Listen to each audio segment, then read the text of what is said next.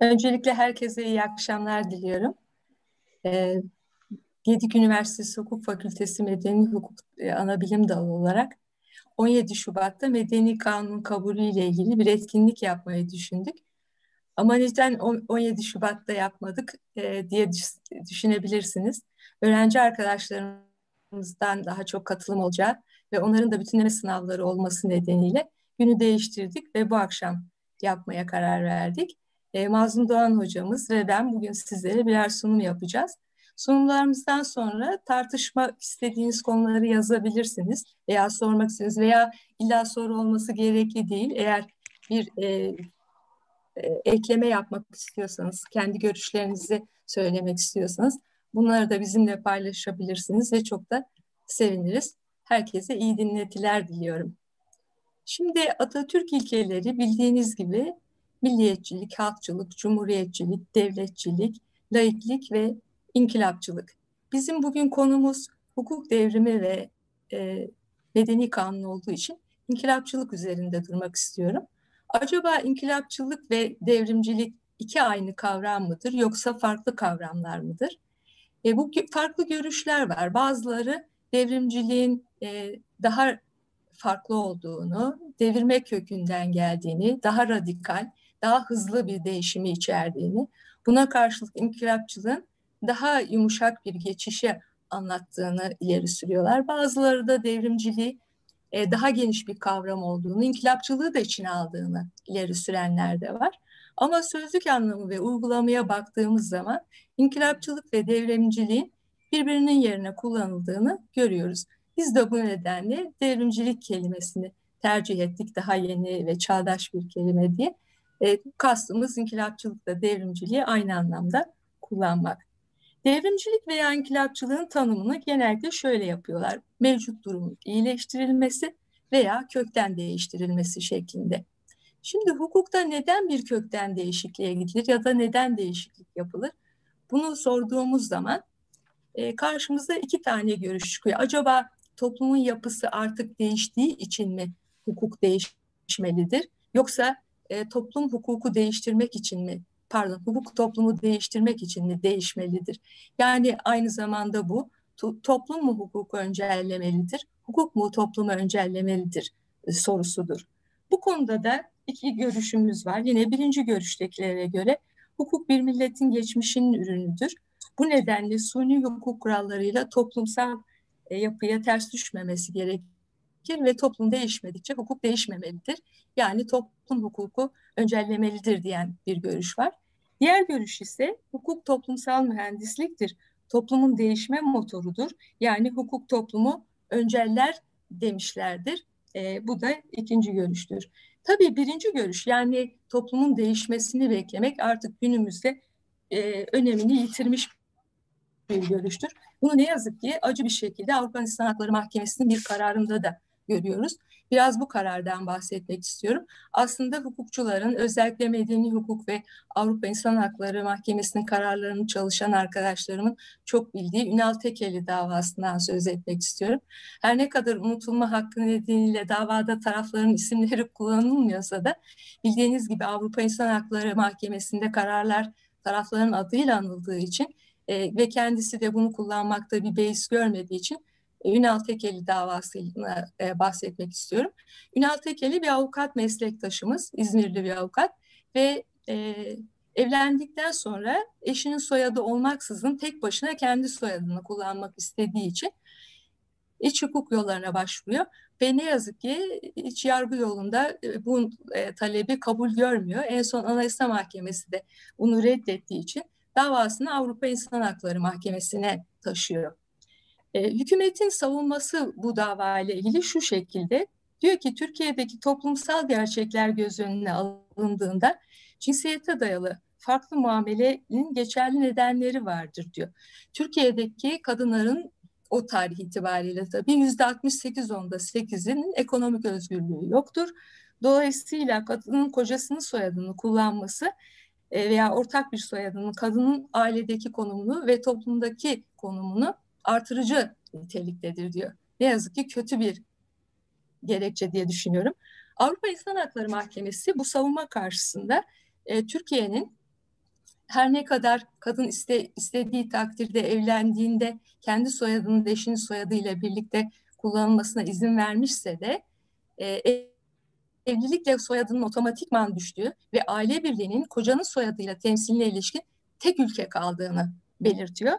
Ve bu e, belki kelimesi kelimesine aynı değil ama e, bu ayrımcılıkla ilgili yasanın ihlalidir ve sen ülke olarak bu benim geleneğimin geleneğimdir diye bunun arkasına sığınamazsın diyor. Yani Avrupa İnsan Hakları Mahkemesi kararları da bize diyor ki e, şey hukuk toplumu öncellemelidir. Sen hukukunu çağdaş ilkelere göre değiştirmelisin diye söylüyor. Atatürk de acaba hukuk değişikliğini gerçekten bu toplumsal mühendislik yani toplumu değiştirmek için mi kullandı? Evet tabii ki toplumun yapısını daha çağdaş bir hale getirmek için biraz sonra Mazlum hocamızın bu değişiklikler üzerinde duracağı gibi bunun için yaptı ama bunun dışında acaba toplumsal değerlerimiz de e, çok yabancı mıydı bu getirilen e, kurallar diye baktığımızda ben hiç de öyle görmüyorum. Aslında bir nevi Atatürk bizi e, fabrika ayarlarımıza geri döndürdü de diyebiliriz. Bunu nasıl diyorsanız şöyle e, Türk tarihine baktığımız zaman ki Türklerle ilgili kayıtların milattan önce 4000 yılına kadar dayandığını görüyoruz. O tarihlerde eski hukukun kaynağı yasa anlamına gelen töre ya da töze e, tözeydi ve töreler adalet, iyilik, eşitlik ve insanlık ilkelerine dayanıyordu. İşte bugünkü değil mi yabancı olmadığımız Avrupa İnsan Hakları Mahkemesi'nin e, Avrupa İnsan Hakları Sözleşmesi'nin ilkeleri gibi. Yine dinsel kurallar bu kuralların dışında tutularak din ile devlet işleri birbirine karıştırılmıyordu. Yani o tarihlerde laiklik de söz konusuydu. Orhun kitabelerinde dinsel yetkiye sahip kişilerin devlet işlerinde etkilerini gösteren bir bilgiye rastlanmadığını görüyoruz. Tek eşlilik Türk ailesi, ailesinin e, karakteristik özelliği olduğunu tüm araştırmacıların ortak görüşü. Evlilik ve boşanma durumunda kadın erkek eşitliği gözetilmiştir.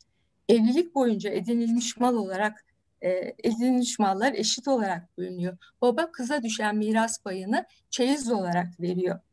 Kadın ve erkek ülkeyi temsilde birlikte kullanıyorlar tarihte devlet başkanlığı yapan ilk kadınlar da Türklerdir. De, Delhi Türklerinde Raziye Sultan e, yine e, Kutluk Dev Türk Devleti'nde de Türkan, Devlet, Türkan Sultan devlet başkanlığı yapmışlardır.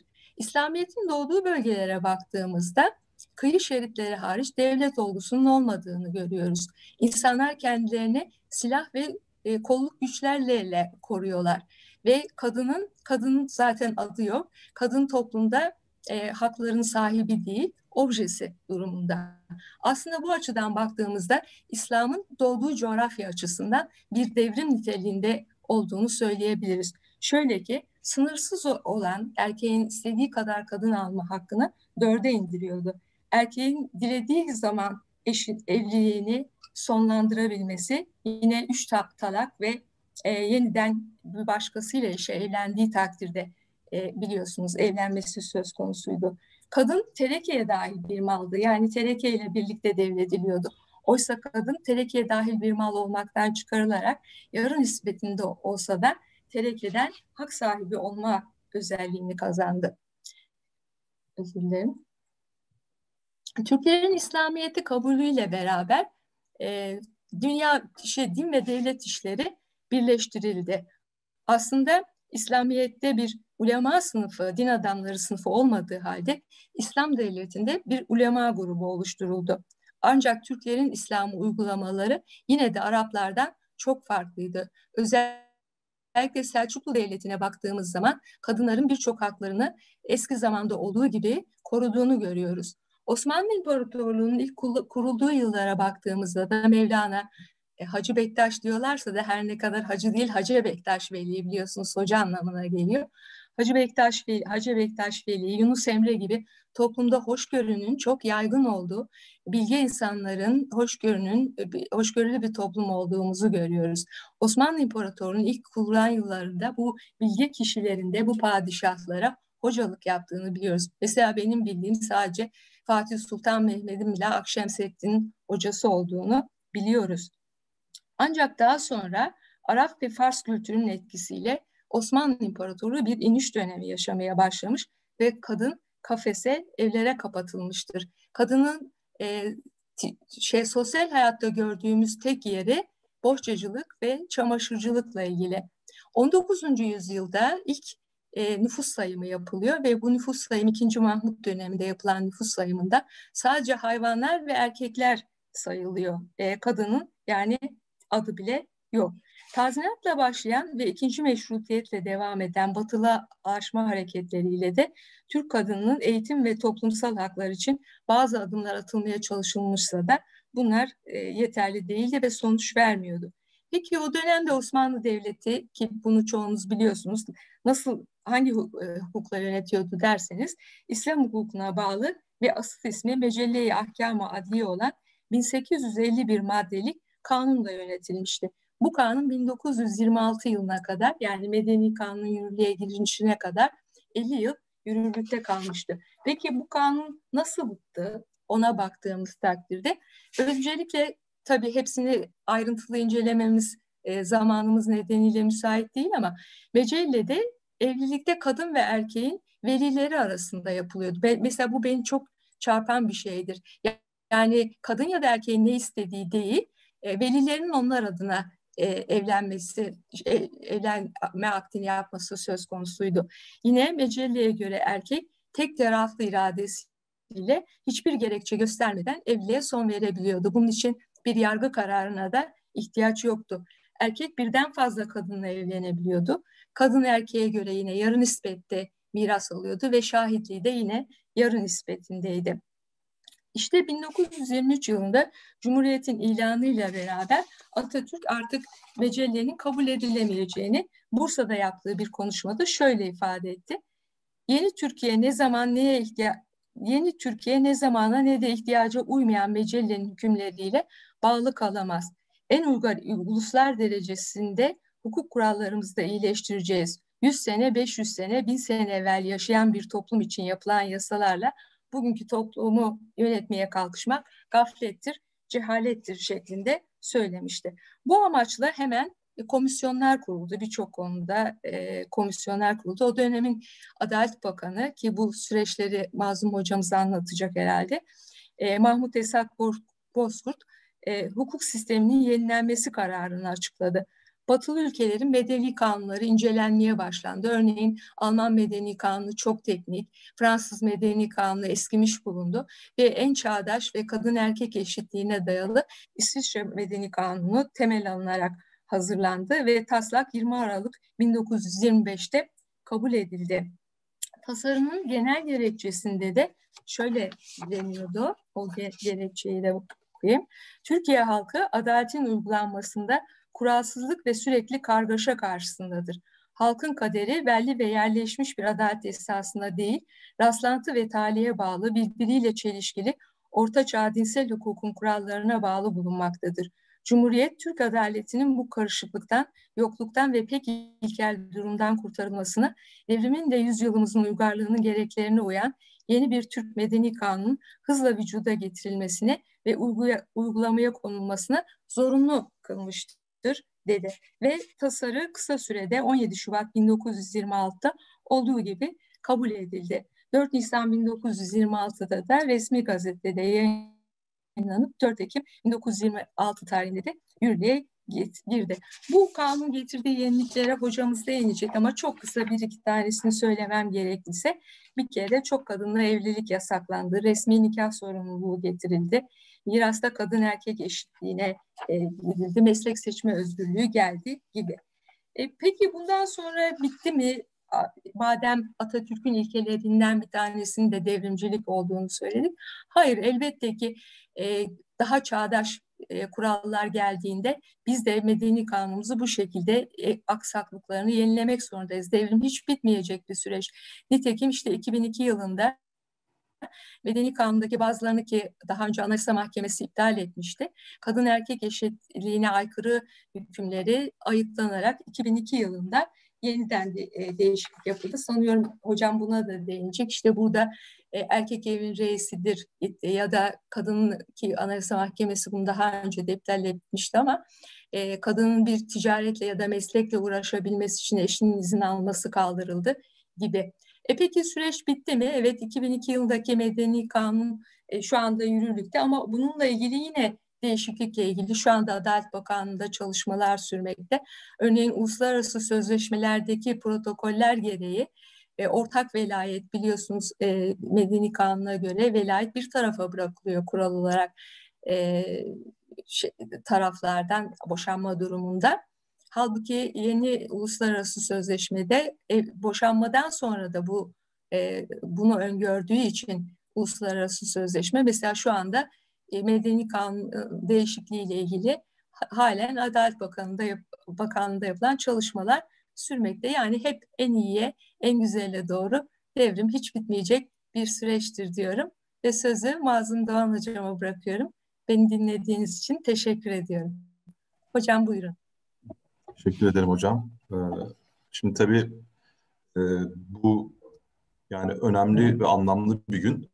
Ee, şimdi şu açıdan e, aslında bizim için de bu konuyu ele almak önemli. Çünkü e, şöyle bir şey oluyor aslında lisans düzeyinde hukuk eğitiminde yani gerek süre bakımından bir sıkıntıya yani müfredatın çok yoğun olması hasebiyle gerekse de ders içeriklerinin tek tek bakıldığında ayrıntılı olması nedeniyle yani medeni hukuk mesela çok geniş bir saha Zaten öğrencilerimiz bunu bilfiil tecrübe etmeye başladı. E, bunun içinde e, yani medeni kanun e, ayrıntılı düzenlemeler içeriyor. Borçlar kanunuyla bu devam ediyor aynı şekilde. Ve biz burada hani e, hukuku anlatırken e, ister istemez biraz daha böyle e, pür e, pozitif hukuk hani içerik e, konuşmak durumunda kalabiliyoruz. E, bir bakımdan da e, bu işte süreler bakımından bir baskı hissettiğimiz için. E, ama işin biraz tarihsel perspektifi ve ekonomik temelleri e, maalesef kadük kalabiliyor. Bu e, süre konusundaki sıkıntıdan ötürü olsun gerek, e, gerekse diğer başka nedenlerden ötürü.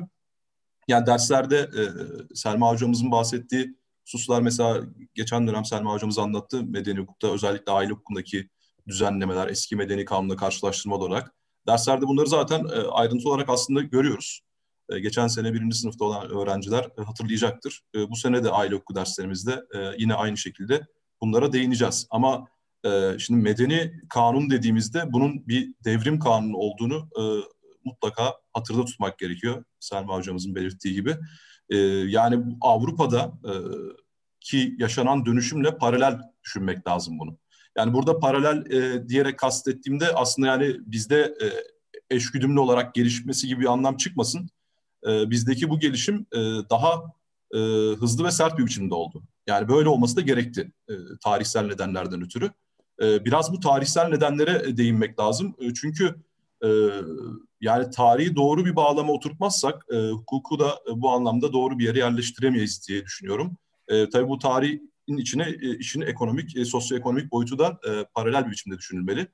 şimdi bunu doğru bir bağlama oturtabilirsek bundan sonrasına ilişkin olarak da hem medeni hukuk anlamında hem hukukun diğer sahaları anlamında daha doğru bir yol çizebileceğimiz kanaatindeyim. Yani e, bunun e, eleştirisinde e, birçok tarihçi tarafından hani yapıldığını belli çerçeveden görüyoruz ama hukukçular tarafından bunun yeterince yapılmadığı kanaatindeyim. Hani bizim bu konuya daha fazla eğilmemiz hem çalışmalarımızda hem öğrencilerimizde olan gerek derslerde olsun gerek ders dışı etkinliklerde olsun daha fazla buraya eğilmeliyiz diye düşünüyorum. Çünkü derslerde zaten pozitif hukuk anlamında gerekli bahsettiğim işte tartışmaları yapıyoruz. Ama Burada şöyle bir şey var. Şimdi e, benim en çok ilgimi çeken bu anlamda medeni kanunun bu devrim niteliği anlamında şu.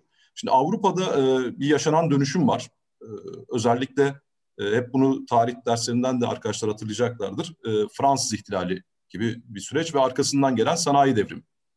Şimdi bizde Osmanlı toplumunun bir tarım toplumu olması büyük oranda ve tarımın da tabii o modernleşme sürecine paralel tarım toplumu da e, modernleşemediği için yani tarımsal anlamda da o modernleşmenin sağlanamaması nedeniyle e, sürekli bir e, gelişim noktasında sıkıntı yaşayan bir toplum var.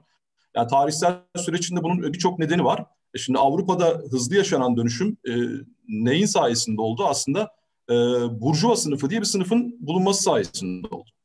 Yani e, burada aydınlanma e, denen e, akım e, Avrupa'da aydınlanma işte bu e, aslında e, Adorno ve Horkheimer'in söylediği, e, Theodor Adorno ve Max Horkheimer'in e, özellikle altını çizdiği aydınlanmanın programı dünyayı gizemden arındırmaktır.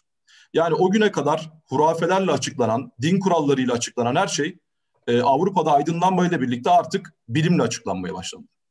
Yani e, bunun da e, gerçekleştiren aslında Avrupa'daki o e, sınıfsal dönüşüm oldu. Burjuvazinin ortaya çıkışı ve burjuvazinin kendi kültürünü yaratması e, aydınlanmayı e, beraberinde getirdi. E, aslında bu burjuvazinin temel amacı e, siyasette, iktidarda söz sahibi olmak istiyordu. Ekonomik olarak bir güç elde etmişti.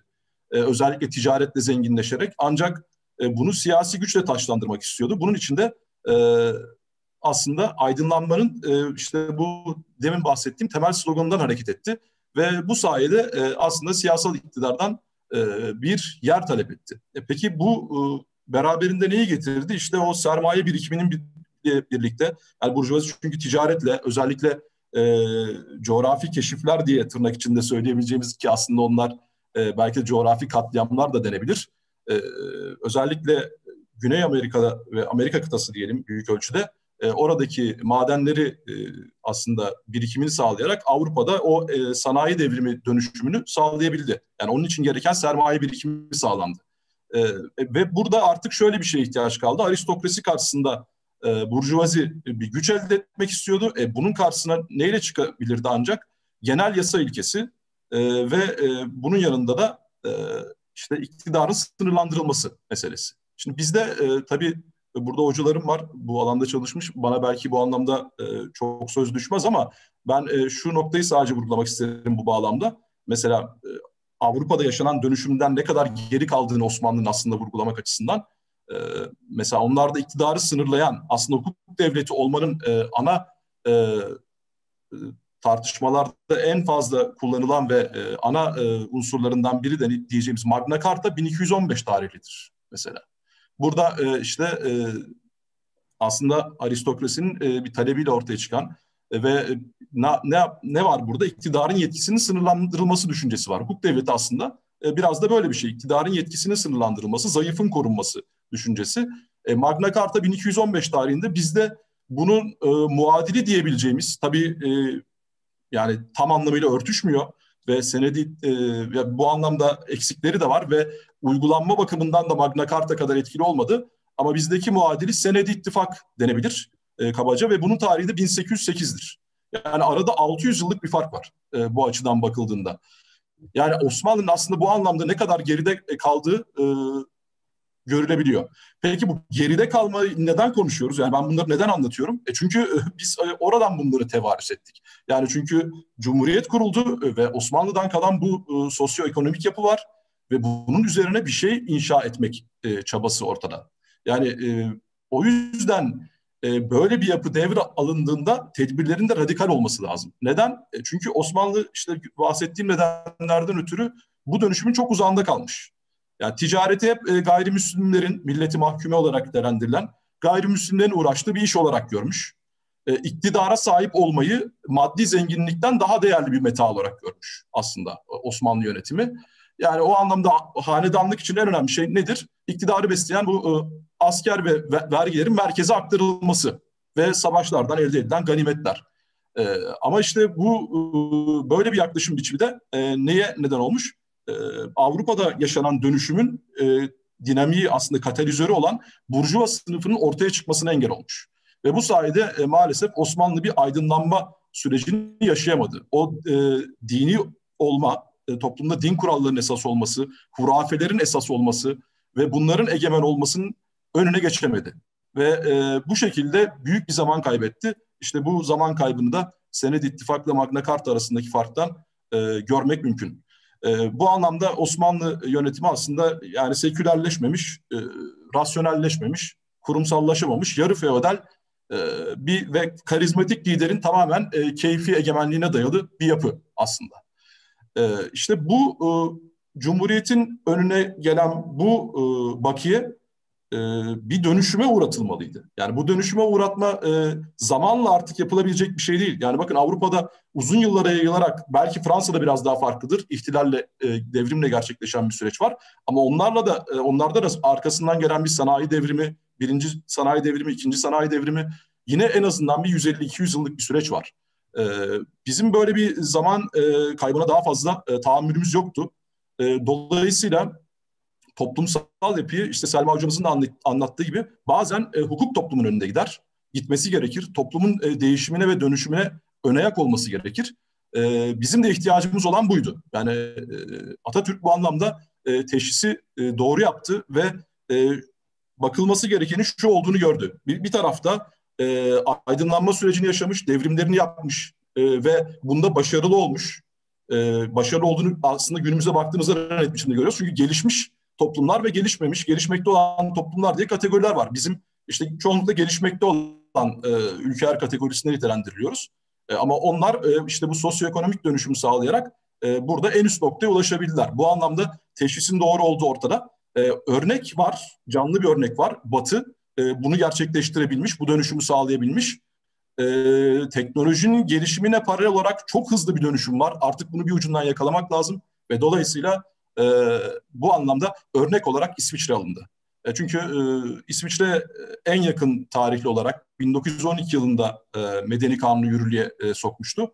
E, ve e, diğer ülkelere nazaran Selma hocamızın anlattı. E, bizim yapımıza daha uygun e, düştüğü düşünüldü. E, bu anlamda e, kabul edildi. İşte burada e, aslında Medeni Kanun'un böyle e, Mecelle'nin üzerine bir değişiklik yapılması başta tartışıldı. Hani Mecelle'de mi acaba değişiklik yapılabilir, ne olabilir diye. E, bu kabul görmedi. E, sonra e, e işte bu Osmanlı'nın son dönemine denk geliyor. E, Cumhuriyet döneminde artık bu tamamen bir tarafa bırakıldı ve e, Fransızca aslı, aslında metninden çevrilmiştir İsviçre e, Medeni Kanunu e, ve Borçlar Kanunu e, ve e, bunun e, çevrilerek e, aynen alınması şeklinde bir yöntem e, benimsendi.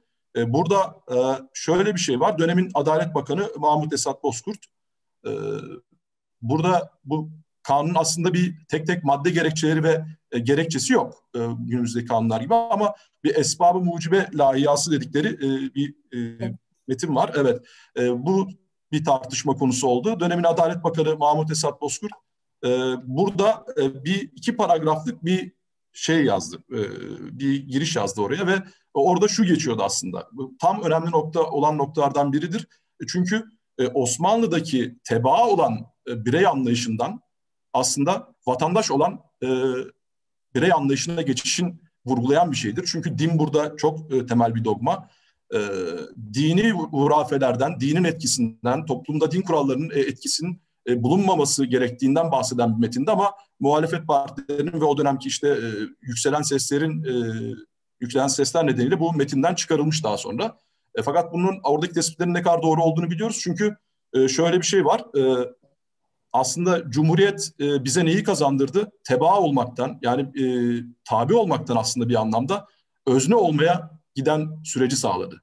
Yani e, Avrupa bu bireycilik akımı ve bireyin e, aslında iktidar karşısında ve söz sahibi olması e, gibi temel ilkeleri e, bize sağlayan bu cumhuriyetin bu devrimleri oldu.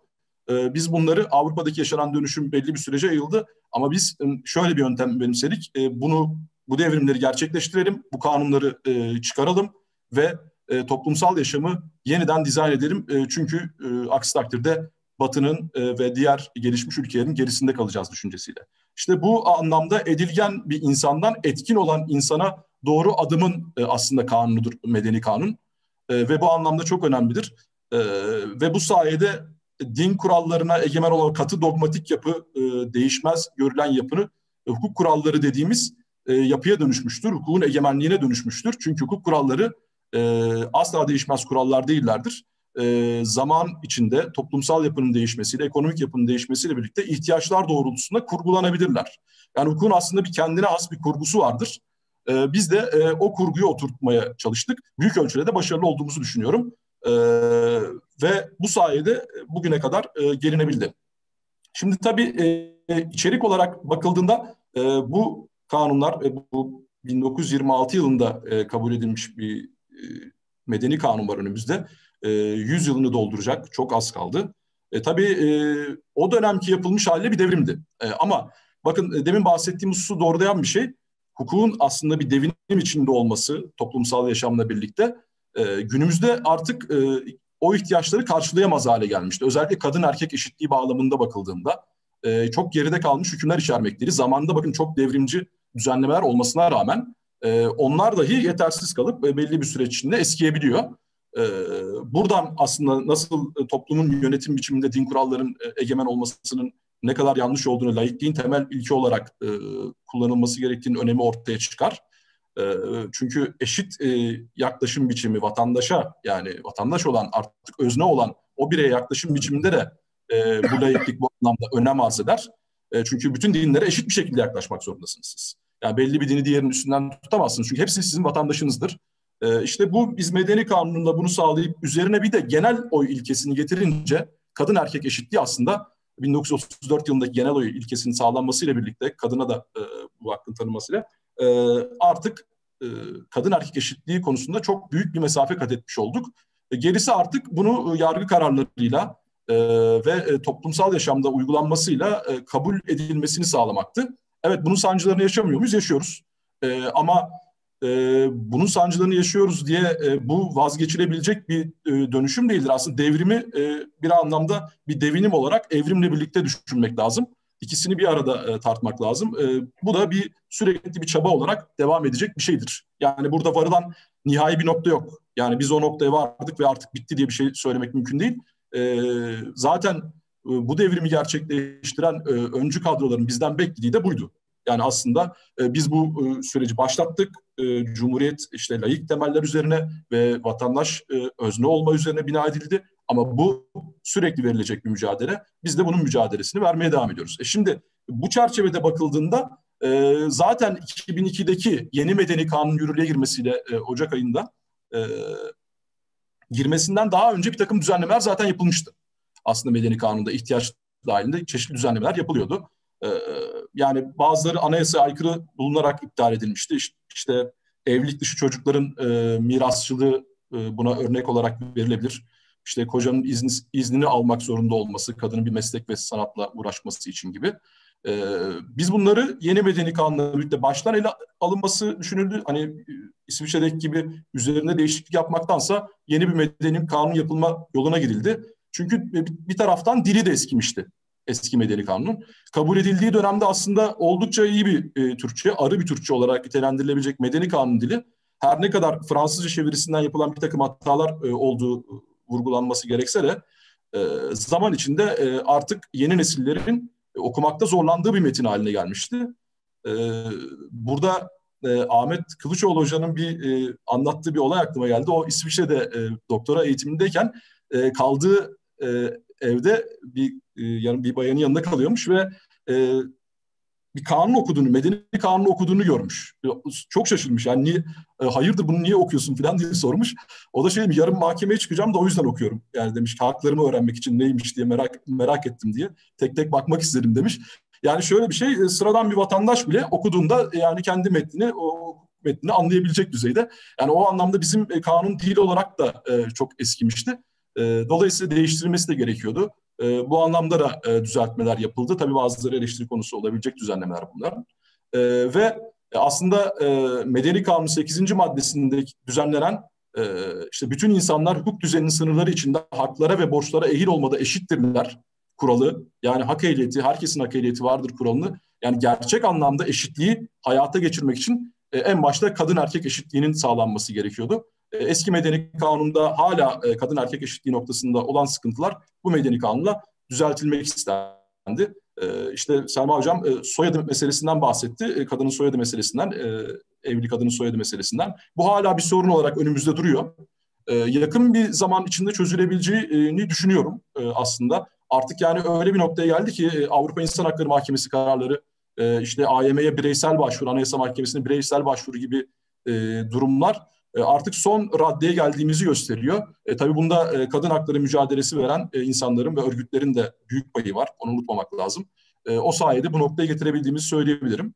E, birkaç düzenlemeyle aslında bitirmek istiyorum ben e, sunumumu. Bunları zaten derslerde konuşuyoruz ama e, hani bu anlattığım tarihsel süreç içinde o devinimin nasıl gerçekleştiği ve şu anda 2002 e, ve sonrasındaki yeni medeni kanunla birlikte e, bulunduğumuz noktayı aslında netleştirmek için birkaç e, önemli düzenleme okuyacağım bu değişiklik anlamında. E, bunlardan biri işte eski medeni kanun 21. maddesindeki kocanın ikametgahı karının ikametgahı addolunur düzenlemesi. Yani burada e, dikkat ederseniz e, feodal e, toplum geleneklerinden kalma. E, Selma hocamız anlattı. E, eski Türk toplumlarında böyle bir şey yok. E, bu özellikle e, kadın erkek eşitliği bağlamında kararların alınma, karar alma süreçlerinde ve uygulama süreçlerindeki örneklerden bahsetti. Bir e, kesintiye uğradığımız söylenebilir bu anlamda. Ama e, işte Cumhuriyet devrimleriyle birlikte bu kesintiyi sona erdirip kaldığımız yerden devam ediyoruz. Öyle düşünüyorum. Bu son ayağı da 2002 tarihli Medeni Kanun oldu. İşte mesela bu bir örnek. Burada aslında bir tabi olma durumu var. Bakın yine. Şimdi siz e, teba olmaktan vatandaş olmaya doğru, özne olmaya doğru bir süreç Cumhuriyet'le gerçekleştiriyorsunuz. Ama bu sefer Cumhuriyet'in içindeki tek tek e, alt gruplarda bir takım mağduniyet durumları var. İşte e, kadın karşısında er, e, erkeğin durumu, e, pardon e, kadının erkek karşısındaki durumu bir mağdun olma durumu. Yani bir altlık durumu söz konusu. Bunların ortadan kaldırılması gerekiyordu. Mesela bu düzenleme e, kaldırıldı tabii ki. E, başka düzenlemeler de var. Örnek verebiliriz hemen. E, örneğin eski medeni kanun, bakın şimdi okulda size çok e, şey gelecek. Yani nasıl böyle bir düzenleme bu kadar uzun süre uygulanabilmiş diyeceğiniz e, tarzda düzenlemeler ama e, gayet normal kabul edilip uygulanıyordu uzun bir süre. E, eski medeni kanunda e, 152. madde. Koca birliğin reisidir.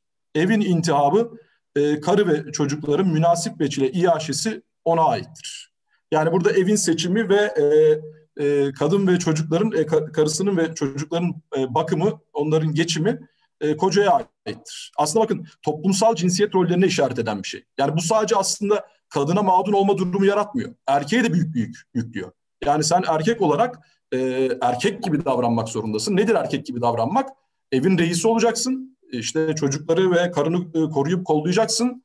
E, onlar çünkü zayıf konumdalar. E, onlar ki acizler. Hiç e, kendileri bir özne olamadıkları için senin onları koruman gerekir bir erkek olarak bizim gibi toplumda. E, ve onların geçimini sağlamakla yükümlüsün. Aslında bu erkeğin sırtına da çok ağır bir yük yüklemek. Yani bu anlamda bu toplumsal cinsiyet rollerinin beslediği e, sıkıntılar yasalarımıza yansımış olarak devam ediyordu. E, hala dediğim gibi sancılar ama mesela bu bu anlamda güzel bir örnek. Bakın bu değiştirildi ve 186. maddeyle birlikte eşler oturacakları konutu birlikte seçerler. Bakın beraber karar alma. Artık e, kocanın e, sözü geçmiyor bu anlamda tek başına. Birliği eşler beraberce yönetirler.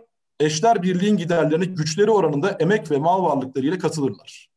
Yani e, toplumda da kabul gören ve aslında hukuka da yansıması olan biz ne diyoruz? İşte e, evlilik birliği, işte hayat müşterektir diye bir söylem var. Aslında o müşterek olmasını hayata geçirme anlamında yasalardaki düzenlemeler bunlar.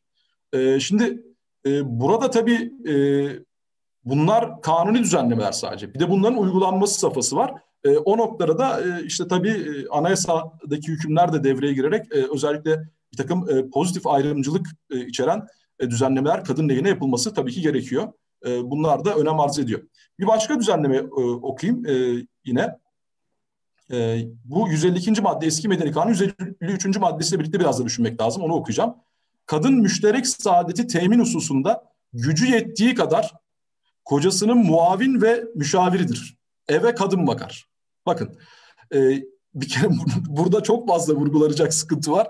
E, şimdi ortak e, saadet denen bir şey var. Şimdi bunu temini gücü yettiği kadar kadına ait. Yani tamam biliyoruz senin gücün yeterli değil çok fazla ama işte artık ne kadar elinden gelirse o kadar bir çaba göster de gücün yettiği kadar e, kocana yardımcı ol. E, çünkü o da zor durumda gibi bir mantık var arkasında. Onun muavin ve müşavir yani yardımcısı ve danışmanıdır.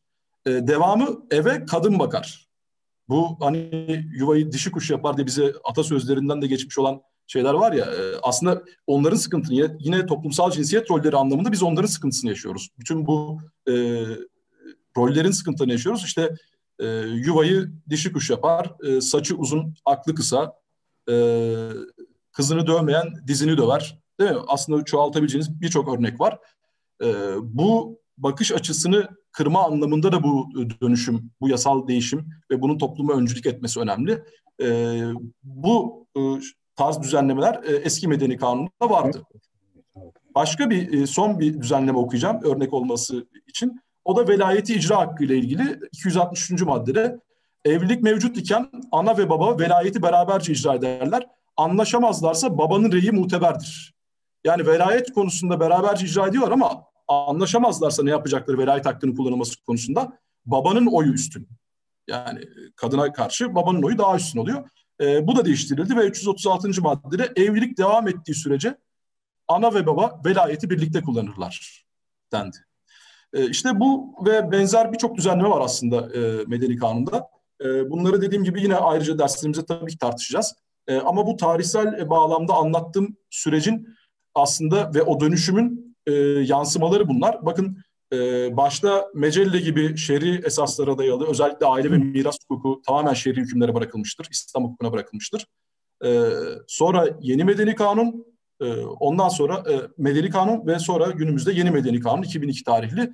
E, o değişimi ve dönüşümü görebiliyoruz. Bu anlamda e, bir e, batıya doğru yönelme aslında medeni olma süreci, e, şehirli olmaya da işaret eder aslında. Hani o Burjuvazi'nin e, temel sloganlarından biridir. E, şehir yaşamı özgürleştirir diye. E, o aslında süreci hala yaşıyoruz ve biz e, bir gelişmekte olan ülke olarak bu süreci sonlandırılmış ve bitirmiş değiliz. Bu arayış devam edecek. E, öyle düşünüyorum ve devam etmeli de.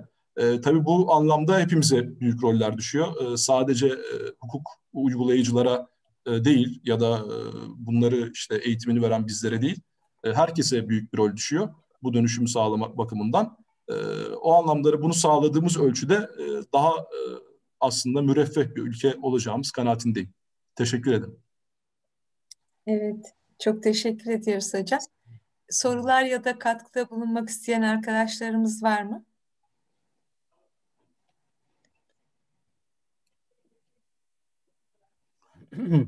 Bu soru öğrencilere mi yönelik hocam yoksa? Yok herkes için. E, Orhan Hocam iyi akşamlar. Buyurun hocam. İyi akşamlar. İzin verirseniz bir hususa değinmek istiyorum. Tabii çok mutlu oluruz hocam. hocam. Katkılarınız çok Tabii önemli buna, hocam. Buyurun. Eksik olmayın rica ediyorum.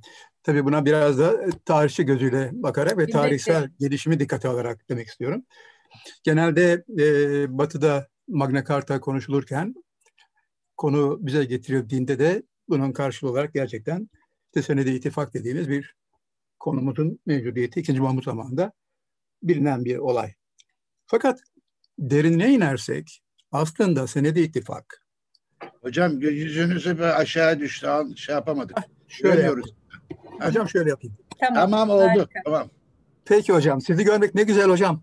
Sağ olun. Bekliyorum. Uzun zamandır görüşmedik. Tamam. Sağ olun. Efendim, e, senede ittifak şöyle bir zorunluluktan doğdu. Yani Magna Carta olayının İngiltere'de ortaya çıkışının temeline uzun boylu burada inemem ama o biliniyor. Yani tamamen işin hukuk yönüyle ağırlıklı olan bir konu. Ama bizde özellikle padişah henüz tahta çıkmış bir çocuk 15 yaşında. Çok kısa zaman önce 3. Selim paramparça edilerek öldürülmüş.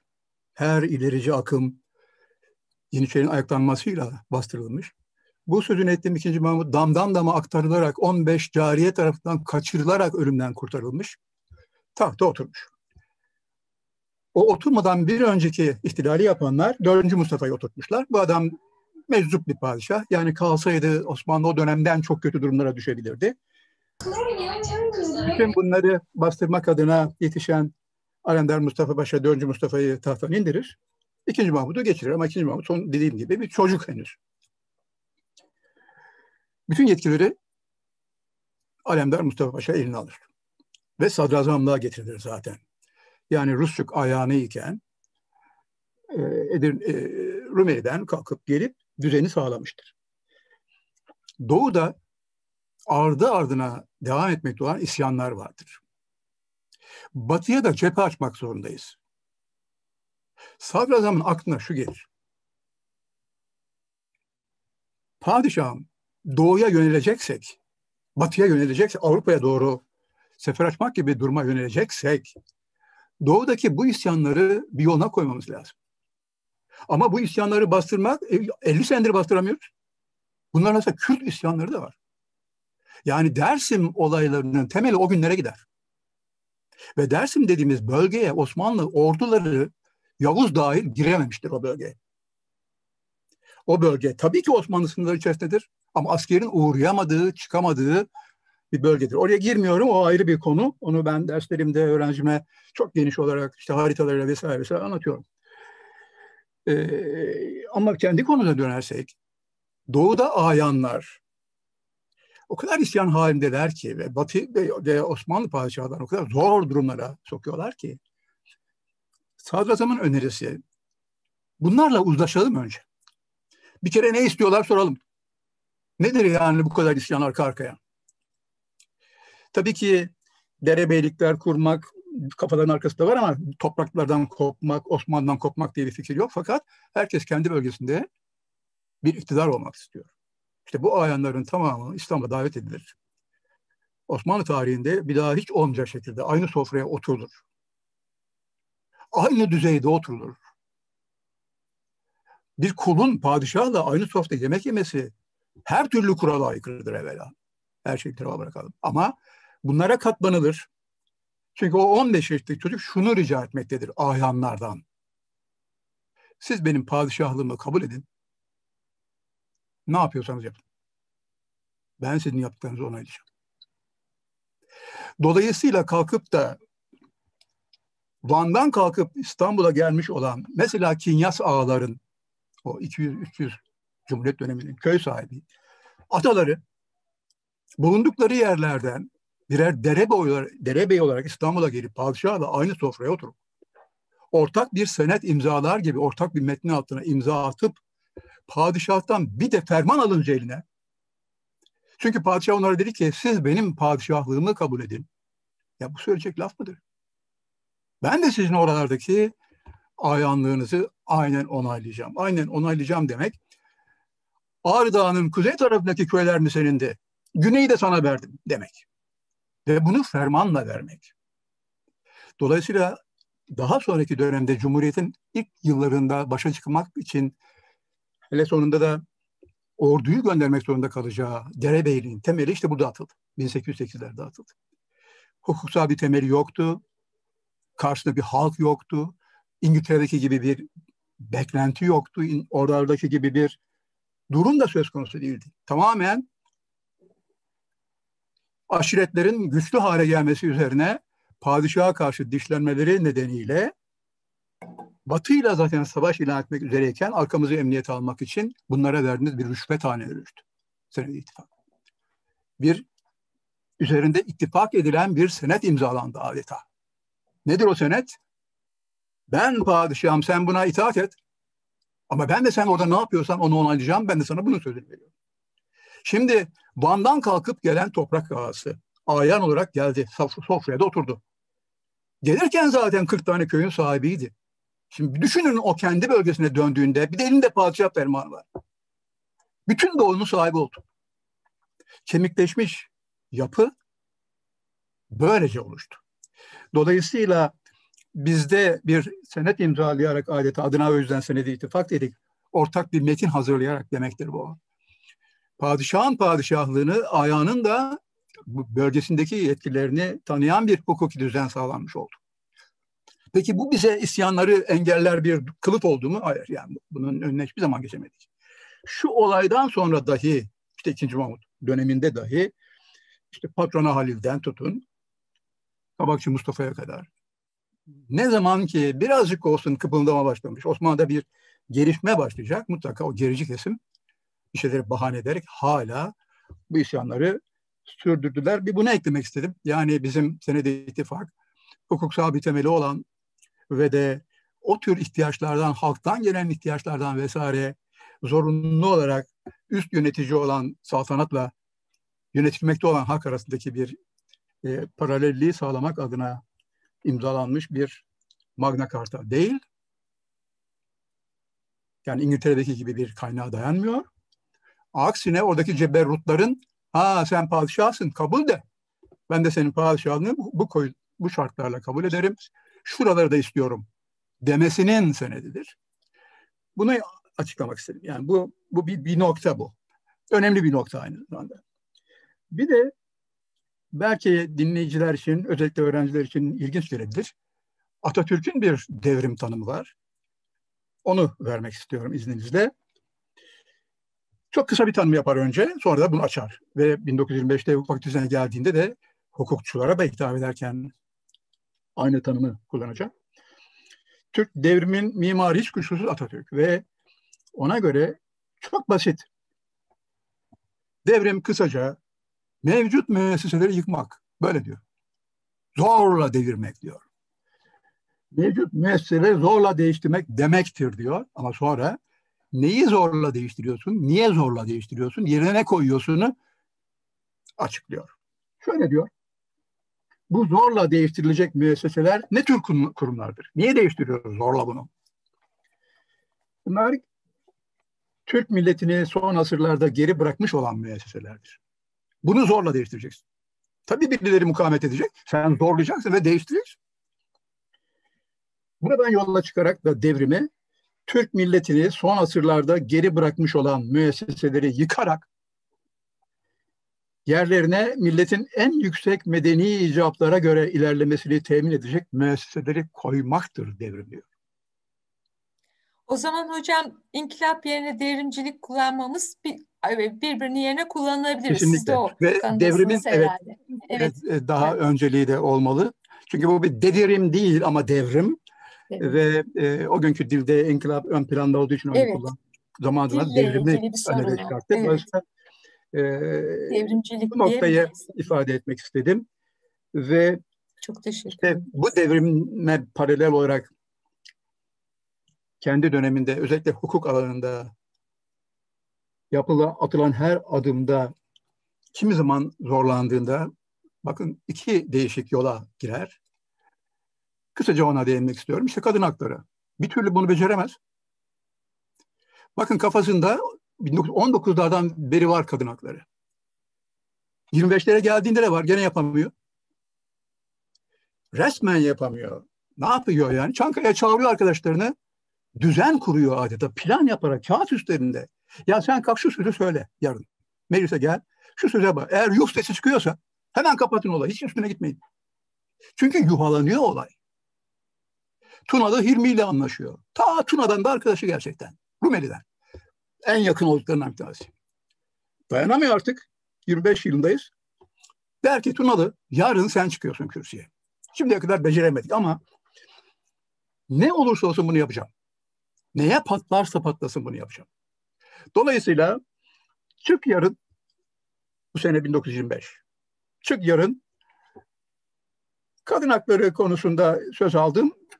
Malum mecliste milletvekilleri söz alınca özetlerler ve e, İzmir'de şu noktaya temas etmek istiyorum. De başla şu konuyu aç der. Sonra da Hilmi kürsüye çıkar. Fakat Çankaya'da bu hazırlıkların yapıldığı biliniyor. Atatürk'ün sofrasında, orası içki sofrası değildi, o bir üniversiteydi orası biliyorsunuz. Her gece bu konular tartışılıyordu. Herkesin önünde bir pet vardı. Yediği yemeğin tabağının yanında kareli bir defter, yanında kalem. Karşıda bir kara tahta muhakkak. Dolayısıyla olaylar tartışılıyordu. Ve Türk'teki işte hukukta eklemeler, düzeltmeler vesaireler yaparak artık kadın hakları konusuna da el atmanın zamanı gelmiştir sayın milletvekilleri de tansiyonu bir görelim reaksiyon alıyor musun almıyor musun? Eğer reaksiyon varsa sakın ısrar etme. Sakın ısrar etme. Çekiniyor da çünkü.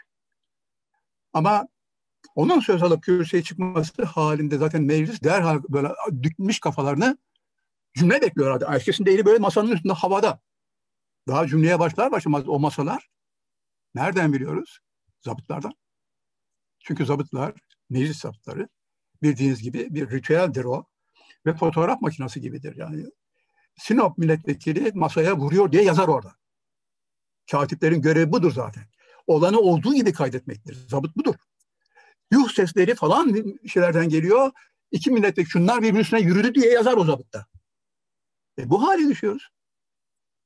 O akşam yemekte anlaşılıyor ki gene hala zamanı gelmiş. Bakın o Atatürk düşünün 26'da medeni hukuku değiştirebiliyor. Bak, hukuk devrimi 26. 25-26 arkasından süren şeyler.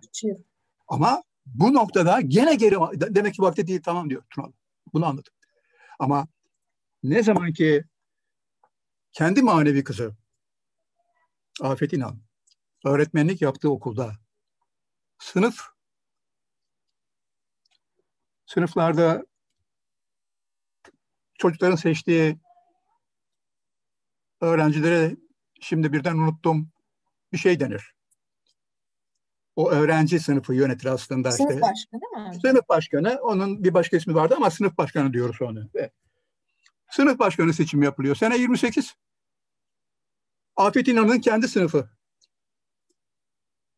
Bir kız çocuğu seçimi kazanıyor. Seçim bittikten sonra erkek çocuğu itiraz ediyor. Hocam yanlış yaptınız diyor öğretmenim diyor. Bir kere bu kız arkadaşımın diyor bu seçime girme şansı olamaz ki çünkü kızlar, kadınlar hiçbir şekilde hiçbir seçime giremezler diyor. O kadar bozuldum, bozuldum diyor Afet'ine. O kadar üzüldüm ki bu ne demek vesaire deyince diyor. İsterseniz müdüre gidelim demiş adam çocuk. Ben doğru söylüyorum öğretmenim. İsterseniz müdüre soralım. Müdüre gittik diyor. Ben büyük bir güvenle girdim odaya. Müdür bey diyor ki Afet Hanım yanlış yapmışsınız. Hiç duyulmuş şey değil. Bugüne kadar zaten hangi sınıf başkanı seçiminde kızların aday olduğunu gördünüz ki zaten. Bu kurallara da aykırı diyor. Tüzüğe de aykırı. Okulun bir yönetmeni ona da aykırı. Hırsından ağlıyor, tutamıyor kendini. Tabii ağlayınca gözler kızarıyor. Akşam yemekteler, surat allak bullak. Soruyor Mustafa Kemal. Ne oldu, nedir bu hali? Boşaltıyor adeta işin işte. O zaman çıldırır gibi konuşuyor. Paşam diyor elini böyle vururken tabağa da. Her şeyi yaptın, neden bu konuya bir türlü el atmıyorsun? Her türlü hak konusunda diyor yırtındın adeta. Neden kadınlar hep böyle ikinci planda kaldı bu yere kadar? Paşam zaman zaman yaptığın gayretleri bilmiyor değilim ama niye kesin sonuç alamadık bir türlü deyince avazı çıktığı kadar bağırıyor Mustafa Kemal. Niye talep etmiyorsunuz diye bağırıyor. Her şeyi benden mi bekliyorsunuz diye bağırıyor. Neden böyle bir talebiniz yok? Bir örgütlenmeniz yok, bir organize olmanız yok, basında toplantınız yok, sokağa dökülmeniz yok. Her şeyi Mustafa Kemal oturduğu yerden karar verip o mu kanunlaştıracak?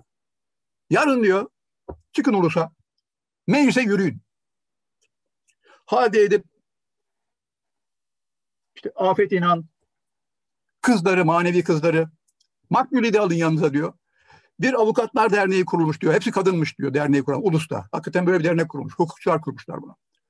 İlişki kurun diyor. O derneğin tamamen benim ricamı söyleyin. Bütün üyeleri katılsın size. Pankart hazırlayın diyor. Kadınlara özgürlük diye yazın tepeye diyor. Yürüyün benim üstüme diyor. Biliyorsunuz Büyük Millet Meclisi o esnada Ulus'ta. Heykele çok yakın zaten. Birinci meclis. Bu aynen uygulanıyor. Polis polis diyor size tabii ki müdahale edecek. Ama zorla gelin kapıya dayanın meclisin kapısına. Gazi ile konuşmak istiyor deyin. Sonrasını ben halledeceğim diyor. Ertesi gün bu aynen böyle uygulanıyor. Düşün oyun oynanıyor adeta. Astığı astık zannedilen bir Gazi Mustafa Kemal Paşa gibi devletin böylesi bir lideri dahi şu konuda halkı da hem aydınlatarak hem teskin ederek hem bir yerlerde bir takım karşıtlıklara meydan vermeden çözebilmek için şöyle bir mizansen hazırlıyor. Ertesi gün bu aynen uygulanır. Basın olayın basına intikal etmesini istiyor çünkü. Çarşaf çarşaf manşetler ve fotoğraflar. En önde Makbule Hanım. Böyle bağır, Sabiha Gökçen yanında. Öteki vesaire. Kapıya dayanınca işte polisler yukarıya fırlarlar. Gazi Paşa Hazretleri işte birileri geldi siz de görüşmek üzere. Gönderin bir temsilci der. E, temsilciler zaten önceden seçilmiş Çankaya'da. Çıkarlar huzura. Ne istiyorsunuz diye sorar. Hiçbir şey bilmiyormuş gibi. Durumu aynen Makbule Hanım bu şekilde ortaya koyar. Hemen çağırır İsmet İnönü'yü. İsmet Paşa mecliste aşağıda toplantı anlar. İsmet der ben bu hanımefendilerin söylediklerine katılıyorum. Bu meclis şu konuyu ele bile almıyor. Hükümet olarak siz bir gerekçeli bir karar yazın derin. Tartışalım kardeşim. Sonuç olumsuz çıkabilir. Ama böyle bir kanun nasıl olur Türkiye Büyük Millet Meclisi'nde hala tartışılamaz bile. Sözü bile açılamaz konumda. Nasıl olur bu? Cumhuriyeti kurduk şunu halledemiyoruz. Böyle şey olur mu diye bağırır. Haklısınız paşam. O zaman gereğini yap. Ve sevgili hocalarım tabii ki gereği yapılır. Arkasından işte arkasından kadın hakları. Hem yasalaşır ama bakın yasalaşırken bile Gazi Paşa dahi bir takım mizans demek ki öyle bir dönemden geçiyoruz ki. Yani bugün her şeye kolay hakim olduk, sahip olduk diye sahip olduğumuz şeylerin çok kolay kazanıldığını da zannediyoruz. Aksine o bile neler çekerek, ne heyecanlar da taşıyarak, neleri de zorlayarak önce seçme haklarını bu şekilde kabul ettirdi. Arkasından benim kadınım dedi bildiğiniz gibi işte sadece seçmez. Niye milletvekili olmasın ki? Niye bu sadece belediye başkanını seçer, sokağının muhtarını seçer durumda olsun ki? Kim demiş kadının aklı işte saçı uzun da aklı kısadır diye. Dolayısıyla bildiğiniz gibi 30'u 34'ler takip eder. Milletvekili de olur bir kadın. Bakan da olur bir kadın diyerek. Ve bu bildiğimiz işin bir tarafı. Şunu söylemeye çalıştım burada. Atatürk gibi bir lider de öyle bir toplum halindeyiz ki yani. Hele hukuk gibi, evrensel boyutta son derece olan bir disiplin, son derece önemli olan bir disiplinin şu ülkede kabul edilir hale gelmesi için kimler ne fedakarlıklar yapmak zorunda kalmışlar. Ve o meclis, yüce meclis bile bunu anlamakta ne kadar zorlanmış. Dolayısıyla o Atatürk'e var ya, hani neleri borçluyuz? Her şey. Ne, ne satıra dökmek mümkün, ne bunun sınırı var. Her şeyi borçluyuz deyip bitirmek istiyorum. Saygılar Çok sunuyorum. teşekkür ederiz hocam. Ben, ben Aslında, bir şeyler söylemek istiyorum. Tabii buyurun hocam. Ee, vakit var mı? Zaman var mı? Tabii. Bak bir süre konmadı bildiğim kadarıyla. Semih süreniz var mı? Devam edebiliriz hocam. Bir sıkıntı yok. Tamam. Teşekkür var. ederiz. Buyurun Tayfun Şimdi hocam. ben ben e, çok e, önemli bir e, bir öneride bulunmak istiyorum. Birini tanıtmak istiyorum size. Bir bir kişiyi. Tabii, bir Türk devlet adamı bu, hukukçu ve Türk devriminin e, ideolojisi olan Kemalizmin belli başlı kuramcılarından biri. Kuramcı yani. Mahmut Esat Bozkurt. Evet.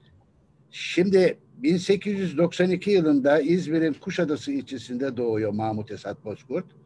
Çiftçilik ve ticaretle uğraşan bir ara İzmir Umi Meclis üyeliğinde bulunan Hacı Mahmut oğullarından Hasan Bey'in oğlu. 1923'te İzmir'de Menek, Menekşelizade Doktor Hüsnü Bey'in kızı Fehade Hanım'la evleniyor ve üç çocuğu var. İki kızı var. Gün ve Ay isimleri. Ee, ve oğlu da Yüksel. Bu ilk öğrenimini Kuşadası ve İzmir Yusuf Rıza Mektebi'nde yapan Bozkurt, İzmir Lisesi'nde, İdadisi'nde bitirdikten sonra e, İkinci Abdülhamit'in bu istibdat yönetimine karşı mücadeleye katılan dayısı Ubeydullah Efendi ile birlikte İstanbul'a geliyorlar. Mahmut Esat 1908'de hukuk mektebine giriyor. İstanbul Hukuk Fakültesine giriyor ve 1912 yılında hukuk fakültesinden mezun oluyor ve sonra İsviçre'de Freiburg Üniversitesi Hukuk Fakültesi'nde yeniden hukuk öğrenimi görüyor ve önce lisans diploması alıp sonra da e, doktor ünvanını alıyor. Doktorası Osmanlı kapitülasyonları rejimi üzerine adlı bir tez. Hukuk doktoru oluyor orada. Ve 1919'da İsviçre'nin Lozan kentinde kurulan Türk Talebe Cemiyeti'nin başkanlığına seçiliyor. Yurdun işgali üzerine derhal İsviçre'den ayrılıp arkadaşları Şükrü Saraçoğlu ve Nuri Kazım Beylerle vatana dönüyor. Kuşadası bölgesinde Kuvayi Milliye'yi kuruyor. Başına geçiyor ve Efelerle birlikte milli mücadeleye katılıyor. 23 Nisan 1920'de de Mahmut Esat Bozkurt Türkiye Büyük Millet Meclisi'ne İzmir milletvekili olarak seçiliyor ve bu görevini 1943 yılında 51 yaşında çok erken bir yaş ölümüne kadar da sürdürüyor.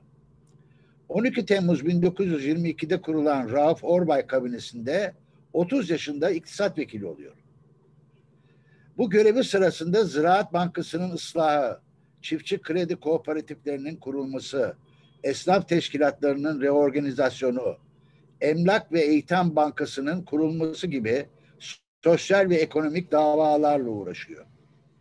Büyük zaferden sonra Mahmut Esat Bey e, kendi yaptığı bir öneriyle Atatürk'ün onayıyla Onursal Başkanlığında Türkiye'de ilk kez Milli İktisat Kongresi'ni İzmir'de 17 Şubat 1923'te topluyor. Bu kongrede milli ekonomi, girişimci sınıfın e, Türkleştirilmesi ve karma ekonomi savunuluyor. 1924'te Adliye Vekilliği Bakanlığı'na getiriliyor Mahmut Esat Bey. 1925 yılında Ankara Hukuk Fakültesini kuruyor ve çalışmalara başlıyor, sürdürüyor. O 17 Şubat 1926'da Türkiye Büyük Millet Meclisi'nde oy birliğiyle kabul edilen medeni kanunun da mimarıdır. Bu kanunun tarihi gerekçesi onun eseridir. Ve 4 Nisan 1926'da resmi gazetede yayınlanan medeni kanunun 6 ay gibi, 6 ay gibi kısa bir geçiş döneminden sonra kesin olarak uygulanmasını kabul ettiriyor.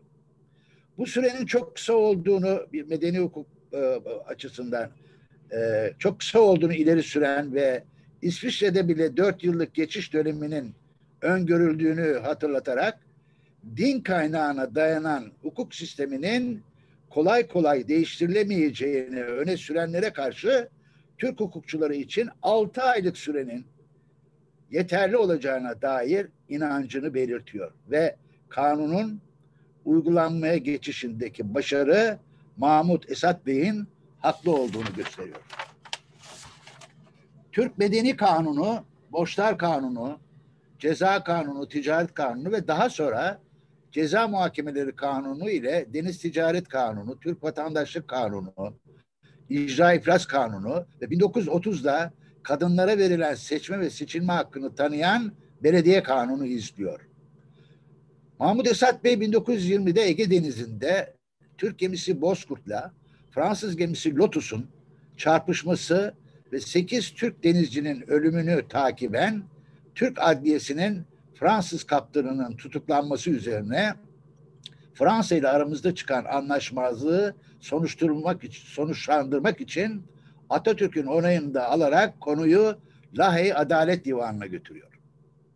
7 Eylül 1927 günü Lahey'de Türk hükümetini temsilen yaptığı başarılı savunma ile biz davayı yani Türkiye davayı kazanarak dünya hukuk literatürüne Lotus Bozkurt davası olarak geçiyor. Kemal Atatürk bu başarısı nedeniyle Mahmut Esat Bey'e Bozkurt soyadını veriyor.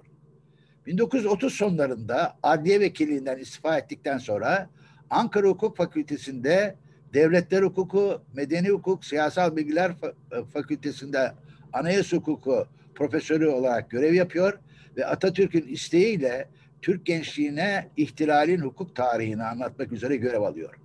İstanbul Üniversitesi İnkılap Tarihi Kürsüsü'nde de 8 Mart 1934 Perşembe günü ilk dersini veriyor.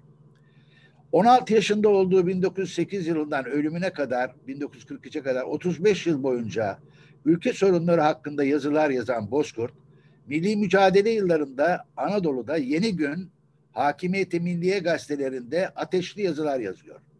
Daha sonra İzmir'de çıkan Anadolu Gazetesi'ne Anadolu Gazetesi'nde yazılarına devam ediyor. Son yazılarını Yeni Sabah gazetesinde yazan Mahmut Esat Bozkurt, son yazısı Yürekler Acısı yazdıktan sonra gazetede rahatsızlanıyor ve hastaneye kaldırılmışsa da bir hafta sonra maalesef 21 Aralık 1943 günü hayatı gözlerini yumuyor. Son yazısı vefat haberiyle birlikte 22 Aralık 1943'te Yeni Sabah gazetesinde yayınlanıyor.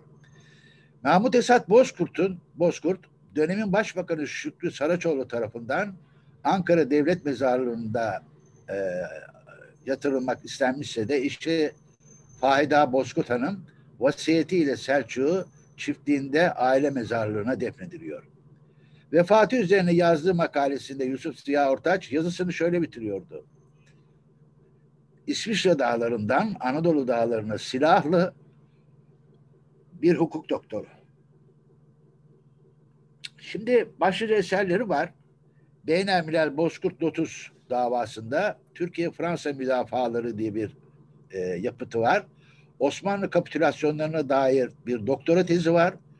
Türk ihtilalinde vatan müdafası 1934'te kitabı var. Türk köylü ve işçilerin hakları hakkında İzmir'de 39'da bir kitabı var. Hukuku düvel yardımcı talebe et, e, el notu diye bir e, yapıtı var. Devletler arası hak yani hukuku düvel Ankara'da bir 1940'ta bir yapıtı var. Atatürk İhtilali İstanbul 1940'ta yapıtı var.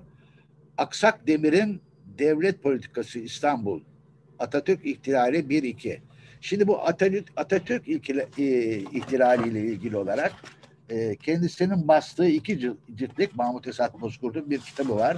Ben e, bütün arkadaşlara, öğrencilerimize ve hocalarımıza bu kitapların e, elde edilmesinin yerinde olacak. Hocam belki bir etüt dersinde Mahmut Esat Bozkurt hocamıza ayırabiliriz e, şeyi e, bir Yapalım. etüt dersini. Yapalım Onun çünkü şeylerini bu davayı muhteşem. inceleyebiliriz mesela. Çok çok muhteşem. Ee, bu, dava. bu iki ciltlik kita, kitabı çok önemli. Hı.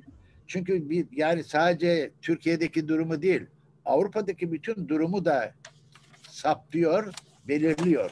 Yani e, bir kere Kemalist devrim olarak e, bunun önde gelen teorisyenlerinden bu, bu kitabın e, alınması ve okunması lazım.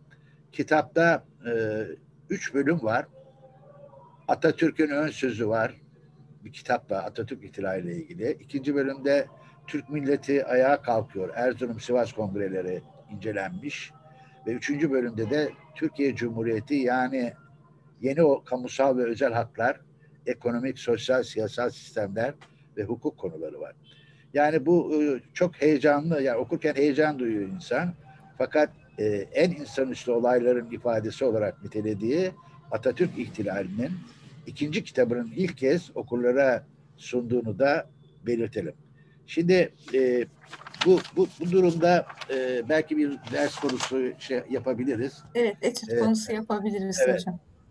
Bu Türk ihtilalinin altı ok prensibi sayılırken milletçilik olarak ifade edilen prensip milliyetçilik olarak değiştiriyor e, Mahmut Esad. E, ve e, Atatürk ihtilali patlak verdiği gün müesseselerimiz 14 asır önce vaz edilmiş olan şeriat kaideleriydi. Bugün modern ulusların karşısında Mustafa Kemal'in e, kurduğu yepyeni bir devlet rejimi ortada.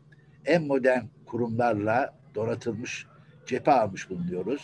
Cümlesindeki cephe almış sözcükleri de e, çıkmıştır. E, yani e, mesela kitapta çok ilginç şeyler. Romalı'nın mezar taşı, Belgrad Paşa'nın beygiri, Muhammed'in çektikleri başlıklı bölümlerin tümü Türklük ve layıklık başlıklı bölümün son üç paragrafındaydı. O da kitap genelinde bir dipnot olarak yer, yer almıştır. Bunu öneriyorum. Yani özellikle bedeni hukukla ilgilenen büyük bir devlet adamı olduğu için belki biraz daha... Bunu e, işleyelim hocam bir etik dersinde. Evet. Teşekkür ederim. Çok teşekkür ediyoruz hocam. Başka konuşmak hocam, isteyen ya da söz almak isteyen... Tabii. Miyim? Tabii hocam lütfen buyurun. Evet. Çok mutlu oluruz. İyi akşamlar diliyoruz. İyi akşamlar. Ee, çok güzel bir e, program düzenlediniz. Onun için ayrıca teşekkür, teşekkür ediyorum. Ee, İstanbul e, Gedik e, Üniversitesi'nin Hukuk Fakültesi Medeni Hukuk Anabilim tüm e, e, hocaları sizin başkanlığınızda böyle bir e, kutlamayı ve Türk Medeni Kanunu'nun e, kabul edildiği Şubat ayındaki 17 Şubat 1926'yı e, anmak ve bir devrim yasasının ne kadar önemli olduğunu ve bu devrim yasasının kabul edilirken ne, hangi süreçlerden geçildiğinin e, genç öğrencilerimize açıklanması çok önemli. E, onun için böyle bir e, programı düzenlediğiniz için çok teşekkür ediyorum. E, fakat ben hep şöyle diyorum, e, kabul tarihi 17 Şubat olmakla beraber yürürlük tarihi 4 Ekim olduğu için 4 Ekim. Ekim'e kadar Tabii yapalım hocam. Türk Medeni Kanunu'nun, bu devrim kanununun sürekli e, de, çünkü birçok konu var e, medeni Tabii. kanunu konuşulacak. Bunları tekrar tekrar e, sevgili öğrencilerimizin bilgisine sunabiliriz. Ben Tabii. müsaade ederseniz çok kısa bir ben konuya istiyorum. E, Magna Carta'dan bahsetti Mazlum hocamız. Onun için e, tabii Magna Carta İngiltere'de e, kralın yetkilerinin e, elinden belirli ölçüde alınması ve e, Tanrı'nın önünde diz çökmek ayrıca e, kiliseye daha büyük yetkiler vermek, derebeylerine, asılzadelere e, daha büyük yetkiler, baronlara daha büyük yetkiler vermek açısından onların bütün istediklerini yapan ve kralın e, birçok haklarının, para toplama konusundaki haklarının, hediyeler alma gibi birçok haklarının elinden alındığı bir e, libertium yani bir sözleşme. Bu da 63 e, maddeden ibaret. Fakat e, bu e, bu belgedeki bütün maddeler bu e, bahsettiğim grupların menfaatleri için kralla yapılmış bir anlaşma. Yani kralın yetkilerinin azaltıldığı ama toplum için, halk için değil. Yani halk gene derebeylerin, baronların, asilzadelerin alıp sattığı köleler.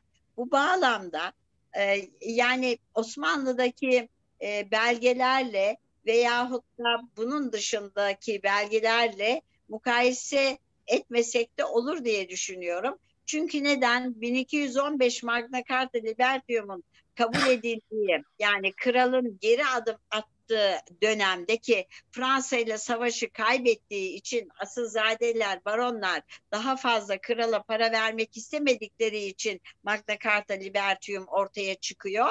E, bu dönem aynı dönemde Orta Çağ'da e, ve e, Asya'daki bir takım e, toplulukları düşündüğümüzde çok daha üst düzeyde birçok kadın haklarının bile olduğu belgeler var. Yusuf Has Hacı bin Kutat bu biliğini aynı dönem 1040 o bu 1215 mukayese ettiğimizde Türk toplumunun aslında e, e, bilgi olarak ve yaşam kalitesi çok. açısından çok yüksek olduğunu ama maalesef sonunda e, bir takım e, sebeplerle Osmanlı İmparatorluğu'nun gene Mazlum Hoca'nın anlattığı gibi yani bir dekans e, sebebiyle e, sona ermedi. Ama Mustafa Kemal Atatürk sayesinde biz gene o e, eşitlik, demokrasi, layıklık ilkelerine kavuşmuş olduk. Ben bunu söylemek istedim. Hiçbir yabancı belgeye e, imrenmeyelim hiçbir tanesi Türk toplumlarının yaşam biçimini anlatan belgelerden çok daha yüksek, çok daha insan haklarına e, riayet eden belgeler değildir diyorum. Hoşçakalın diyorum. Hocam o zaman benim ben görüşlerime şey katılıyorsunuz. Ben dedim ya fabrika ayarlarımıza geri döndük diye. Yani değil mi? ee, evet. Ben bir şey hatırlatmak istiyorum. Tabii. Bir şey hatırlamadık. Biz de derste yani sınıfta bir başkan seçerdik.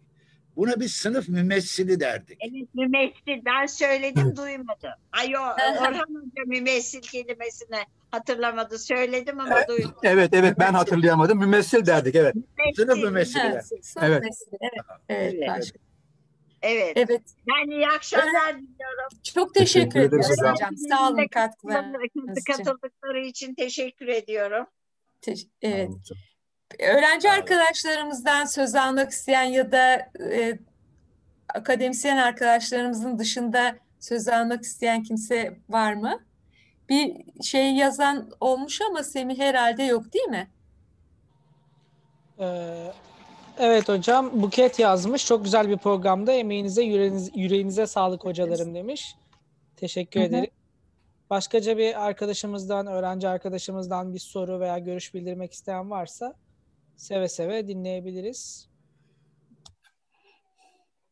Yok herhalde. Evet, olmadı. Peki.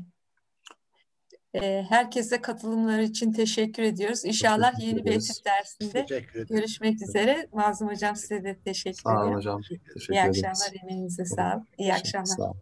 Teşekkürler. Teşekkürler, sağ olun. Tamam.